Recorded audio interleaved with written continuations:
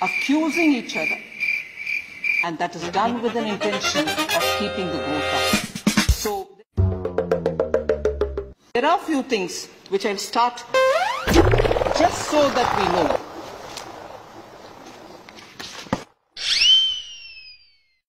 At 19, it was 5.1 only. Then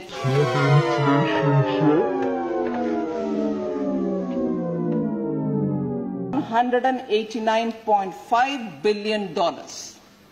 Whereas when we finished in 19, again, sir, foreign exchange reserves, some members mentioned about it. I'd like to give the comparison.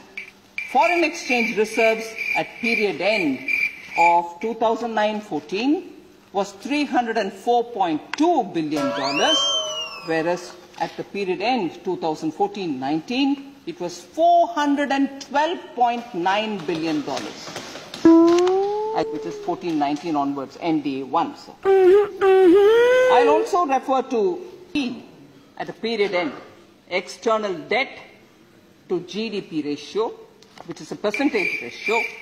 At the end of UPA 2, that is 2009-14, 23.9% was the external debt to GDP ratio. Uh, and government now facing a situation on which loans. And that's because we were able to recap. Now recognized for the problem of NPA that they have and consequences. Second, when we are able to bring them together, there's a better utilization of the savings which are otherwise lying dormant.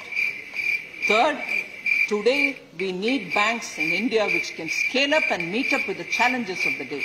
And therefore we thought it was important. A lot of other matchmaking exercise happened where the technologies are compatible. Now, obviously, all this will be factored in when we talk about why the, the GDP is growing, uh, uh, slowing down. I just want to say one thing, sir.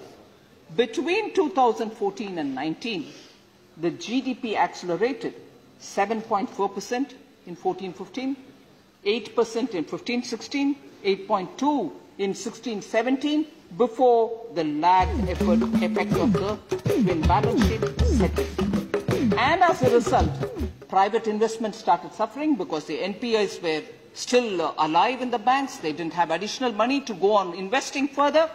So the lagged effect of declining investment caught on and therefore the GDP growth rate